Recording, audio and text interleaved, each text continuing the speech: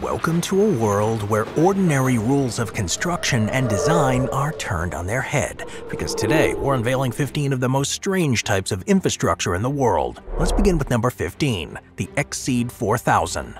In the annals of architectural ingenuity, there exists a proposal that challenges conventional thinking and presents a vision that seems almost otherworldly, the X-Seed 4000. This towering concept invites us to explore the frontiers of imagination and pushes the envelope of what we thought possible in the realm of skyscrapers. Proposed in the latter part of the 20th century, the X-Seed 4000 is not merely a building, it's a symbol of humanity's ambition. Its height, soaring to approximately 13,000 feet, places it in a league of its own.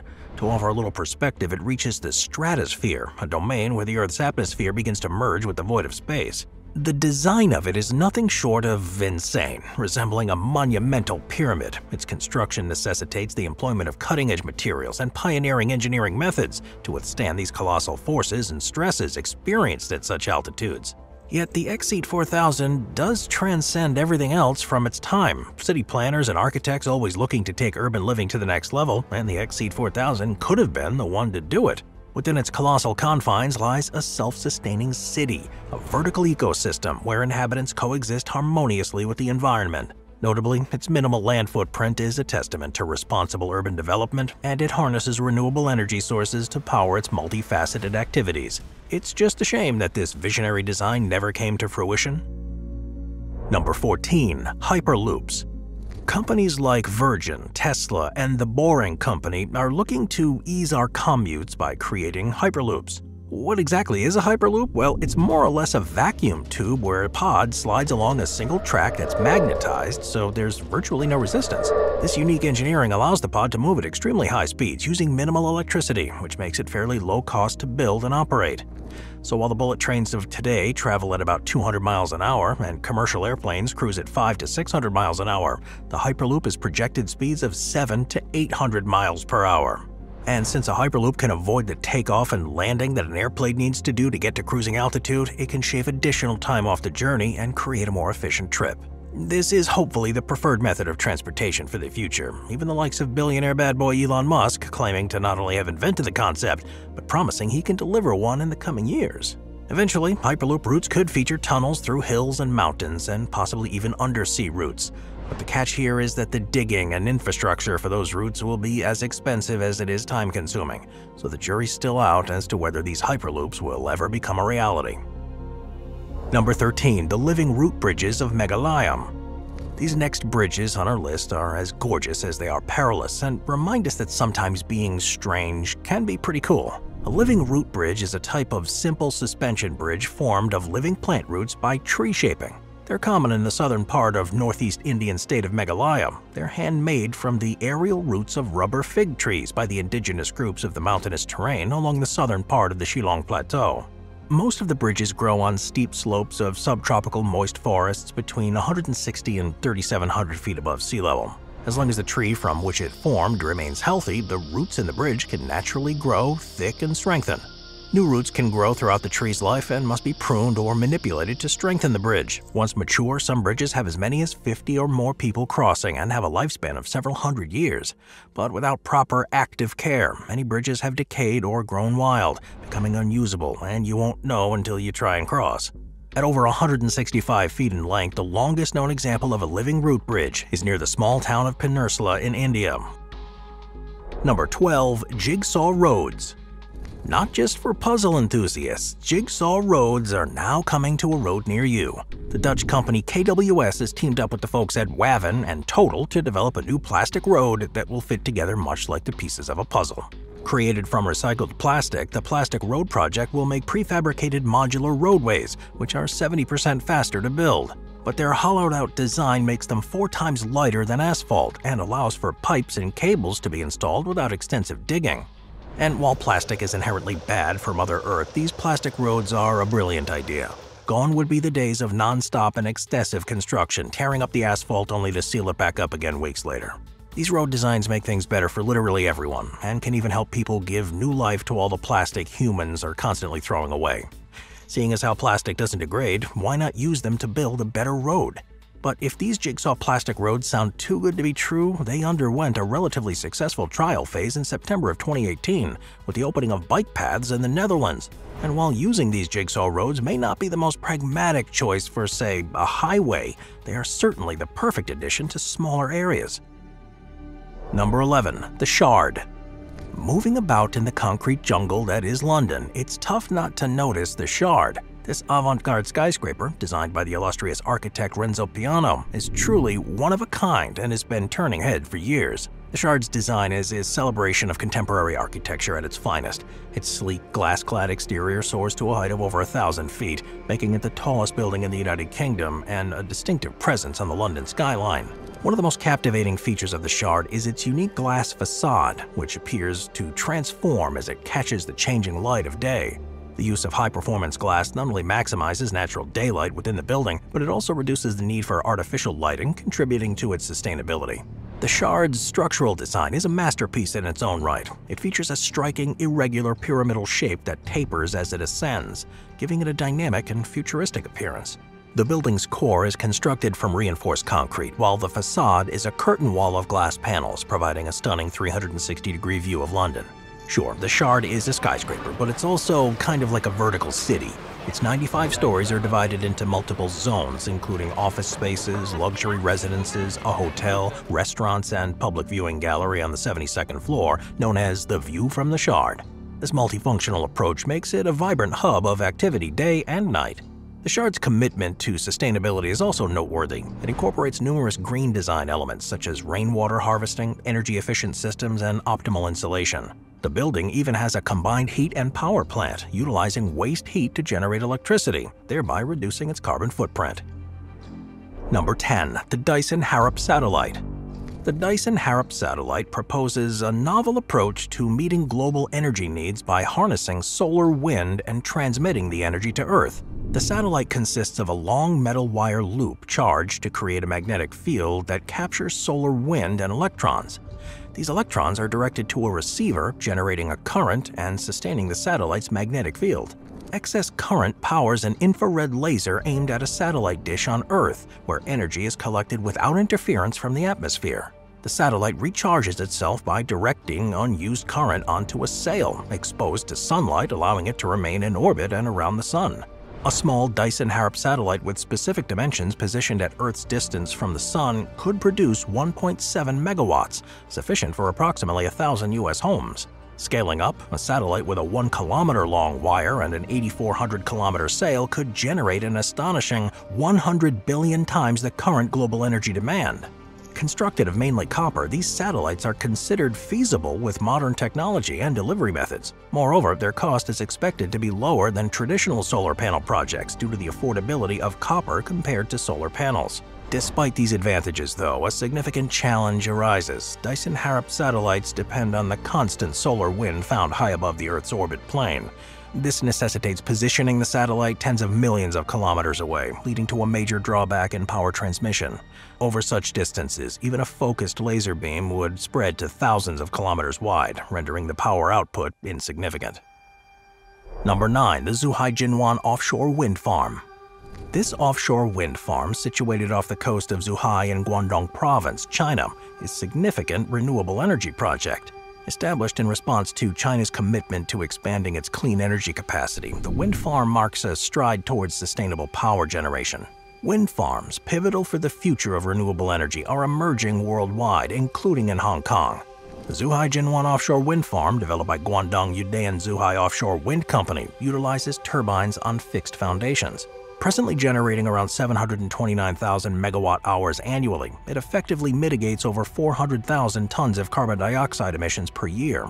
It's located approximately six and a half miles south of Sanzhou Island in the bay, and the wind farm connects to the southern power grid featuring 55 turbine generator systems. It was initiated in late 2018. This energy group invested a substantial $850 million in this pioneering project. Now, despite global challenges, including a pandemic and adverse weather, the wind farm stands as a testament to resilience. As the largest offshore wind power project in the Guangdong, Hong Kong, Macau Greater Bay Area, it plays a pivotal role in supplying the region with clean, low-carbon, secure energy. The The wind farm features a cluster of offshore wind turbines, each standing tall with a hub height of around 365 feet and a rotor diameter of approximately 465 feet. The sheer size of these structures does contribute to their efficiency in capturing wind energy. Utilizing the principles of aerodynamics, these wind turbines convert kinetic energy from the wind into mechanical energy through the rotation of the blades. This generated electricity is transmitted to the mainland through an underwater cable network, integrating the wind farm into the regional power grid. Number 8. Gateshead Millennium Bridge the Gateshead Millennium Bridge, a pedestrian and cyclist tilt bridge spanning the River Tyne between Gateshead and Newcastle upon Tyne, holds the distinction of being the first ever tilting bridge. Operational since 2001, this award-winning structure was designed by Wilkinson Eyre and engineered by Gifford. Sometimes referred to as the Blinking Eye Bridge or the Winking Eye Bridge, its unique shape and tilting method contribute to its distinct identity. Constructed to meet specific design constraints, the bridge's main features include two steel arches, one serving as a pedestrian and cycle path and the other providing support. The structure, designed for ease of operating and closing, utilizes 18 suspension cables for stability. It's powered by six hydraulic rams. This 850,000 kilogram bridge tilts as a single unit, creating clearance for river traffic. The entire rotation process takes approximately four minutes, allowing for a smooth transition from open to closed. Notably energy efficient, the bridge's operational cost per opening was as low as £3.96 in April 2017. At night, a lighting system designed by Jonathan Speirs and Associates illuminates the bridge without causing any light pollution. The bridge's cables, too thin to be visible at night, contribute to that appeal. The lights display white during the week and various colors on the weekend with green and red LEDs, indicating opening and closing during the day. The bridge, lifted into position by the Asian Hercules II, one of the world's largest floating cranes, attracted crowds during its transportation in one day. Notably, the design originally incorporated fixed piles for vessel collision protection, but public discontent and unnecessary maintenance costs led to their removal in 2012. Moving on to number 7, Montaña Magica Lodge. Nestled in the dense jungles of Chile's Huilo National Reserve, the Montaña Magica Lodge is a fantastical waterfall-shaped hotel that appears to be hewn into natural stone spire, resembling the creation of ambitious hobbits. Despite its otherworldly appearance, this lodge is a man-made structure constructed using locally sourced lumber and stone. The tall cone-shaped building features water cascading down its sides, flowing between guests' windows and beneath layers of lush jungle foliage. Each cozy suite inside the lodge is named after a local bird species and is equipped with modern amenities comparable to those found in more urban hotels. This lodge offers more than just a unique stay. It provides additional attractions such as hot tubs crafted from enormous tree trunks situated on decks overlooking the forest, and this lodge also boasts a forest-integrated mini golf course, utilizing the natural surroundings as obstacles. Outdoor activities like horseback riding, rafting, and hiking are also available here. Now, while the lodge itself is a marvel, its location in the Huilo Natural Reserve adds to this allure. The reserve is home to the Huilo Huilo Falls, the world's smallest deer species, pudu, and South America's longest zip line system. Accessing this magical place requires a journey of at least two hours from the nearest airfield, a small price to pay for an experience that transports visitors to what feels like Middle-earth. The Montaña Magica Lodge, it seamlessly blends the enchanting beauty of its surroundings with the comfort of modern amenities, creating a truly unique and memorable retreat in the heart of Chile's natural wonders. Number 6. The Kawazu Nanadaru Loop Bridge the Kawazu Nanadaru Loop Bridge is located in the Izu Peninsula, Shizuoka Prefecture in Japan. It's a unique circular loop bridge that spans the Kawazu River, forming a full loop on one side, allowing vehicles to turn 360 degrees. Designed and constructed by Izu Shaboten Engineering and completed in 1980, the loop bridge stands out for its distinctive shape and purpose. The circular design serves a specific function, allowing drivers to navigate steep terrain and the sharp turn of the Kawazu River Valley more efficiently. The loop bridge has a diameter of approximately 265 feet, and its unique design allows vehicles to ascend and descend through a circular route. Constructed over four decades ago, this bridge has become a notable landmark in the region. The loop design minimizes environmental impact on the surrounding landscape, making it an eco-friendly solution to the challenges posed by the geographical features of this region. Stretching out the bridge would result in a loop with a circumference of approximately 830 feet. While not an exceptionally long bridge, its unique design and engineering make it a significant structure. Despite that relatively modest size, this bridge has gained attention for its innovative approach to addressing the challenges of the terrain. Travelers and engineering enthusiasts alike appreciate the bridge for its functionality, distinctive design, and seamless integration into the driving route. Number 5. The Arc de Triomphe Roundabout this roundabout, nestled at the western ends of the Champs-Élysées in Paris, is one of the most iconic and recognizable places in the world. Thanks to its chaotic nature, this roundabout never fails to leave a lasting impression. It's graced the silver screen in several movies, from action-packed car chases in Ronin to romantic strolls in Midnight in Paris. This famous intersection has set the stage for countless cinematic moments. It is kind of like a real-life movie set where even the chaos becomes art fit for the Louvre. But like any good piece of art, this roundabout can cause great suffering to anyone involved. A swirling vortex of cars, buses, and scooters, bicycles converge from 12 different avenues. Drivers don't need to know French to make it through this nexus of worlds. All they need is a lead foot, a good horn, and some well-timed assertive maneuvers to be understood. The absence of visible lane markings adds to the confusion, turning this circular maze into a tornado of traffic. But it's also not hard to marvel at the archway itself. This architectural masterpiece was commissioned by none other than Napoleon Bonaparte himself, honoring the triumphs of the French army. Construction began in 1806 and took over 30 years to complete. Today, it stands as a symbol of national pride and a tribute to French history and culture. It's also not just a traffic hub, it's a symbol of unity and a meeting point where the past converges with the present. The streets come alive here, and just like life itself, there's plenty of confusion to be had. Who in their right mind, though, would willingly partake in the anarchy of the Arc? Well, the answer lies in the allure of Paris itself. Just ask the hundreds of locals who use it to get home, to work, or even just the store, and the hundreds of thousands who flock from far and wide to catch a glimpse of the iconic set piece. Life is chaos, and so the Arc de Triomphe roundabout perfectly embodies how sometimes our day-to-day activities make little to no sense. Sometimes we're going around in circles to no end, but if you pay attention at the right moment, you'll find where you need to be.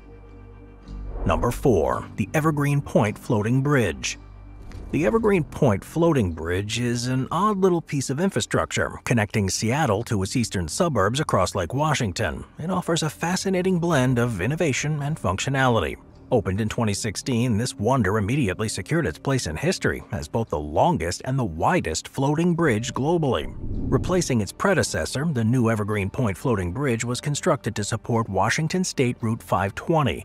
With a remarkable span of over 7,700 feet, it outstripped the previous bridge by 130 feet, earning it the distinguished title of the world's longest floating bridge. The innovative design includes 77 concrete pontoons, the largest of which measure an impressive 75 feet wide and 360 feet long.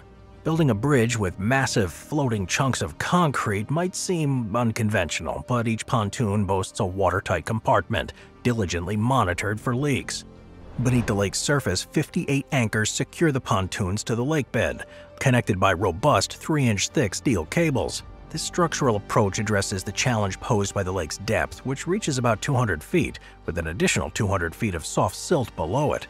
The bridge deck, perched 20 feet above the pontoons, comprises 776 precast concrete sections, creating a dual-layered structure. This design allows maintenance vehicles to traverse the lower pontoon deck accessing the main roadway above without disrupting continuous flow of traffic. Building the world's longest and widest floating bridge came at a significant cost though, exceeding $4.5 billion in total construction expenses. However, the bridge's value is reflected in the daily passage of an average 74,000 toll-paying motorists, and its projected service life is at least 75 years. Sound Transit has ambitious plans for the Hadley Memorial Floating Bridge. They aim to introduce a first-of-its-kind light rail system, utilizing revolutionary technology at each end. This tech will allow flexible movement between the land and the bridge ends, ensuring safety of rail cars while accommodating the dynamic nature of the bridge. This forward-looking project adds another layer of innovation to an already remarkable feat of engineering. Number 3. Cyber Cybertecture Egg Cybertecture, a 21st century innovation in the field of architecture, represents the pinnacle of architectural achievement worldwide. This architectural landscape has undergone significant transformation since the 18th century, when Roman architecture took center stage globally. The evolution of architectural preferences alongside advancements in building materials such as concrete, steel, and glass has brought about a new era marked by the integration of human intelligence, technology, multimedia, and interconnectivity into structural design. At the forefront of this architectural revolution is James Law, based in Hong Kong, who conceptualized cybertecture. As the leader of Cybertecture International, the company specializes in multimedia, interiors, and IT planning, overseeing projects encompassing 2 million square feet across major parts of Mumbai. The Cybertecture building is shaped like an egg and inspired by a vessel that embodies the idea of the Earth as a self-sustaining vessel with an ecosystem that facilitates life, growth, and evolution. Located in Mumbai's central business district, the Bandra Kurla complex, the iconic Cybertecture sphere serves as a beacon and a nucleus, creating a unique identity for the area. However, the introduction of Cybertecture in India faced challenges outlined by James Law in an article published in the Financial Express. These challenges include unraveling the intricacies of a new concept, overcoming resistance from established developers and builders accustomed to traditional styles. Despite all these challenges, though, cybertecture-based buildings offer numerous advantages, including higher and broader performance than conventional architecture. Efficient energy use, integration of sensors to modulate systems, enhanced building security, and a fire-resistant structure. This innovative approach results in a significant reduction in construction usage, approximately 15% less than conventional buildings. The Cybertecture Egg, a 13-story building spanning 350,000 square feet of office space with three levels of basement and a 400-car parking capacity, showcases additional sustainable features. These include a cantilever designed to minimize heat gain, green spillouts, also known as sky gardens, for oxygen replenishment and refuge areas, an underground cooling system, solar panels integrated into the intelligent glass facade for alternative electricity, and water recycling systems for sewage treatment, rainwater harvesting, and wetland cell systems. Number 2. The Shimizu Mega City Pyramid Shimizu Mega City Pyramid. What is there to really say about this one?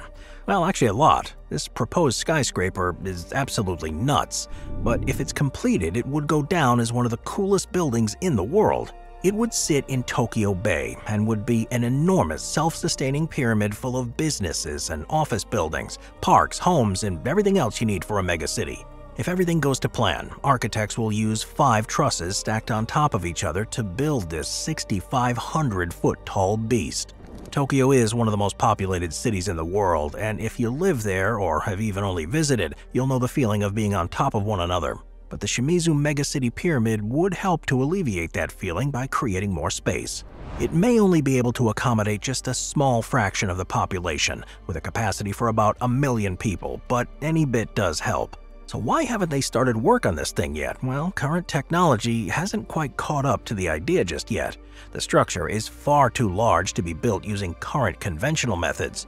Folks are banking on the development of super strong yet lightweight materials made of carbon nanotubes and graphene, both of which are already in their respective research phase. The teams behind this mega city have said they would love to start construction in 2030, but as of yet, that's still just a dream.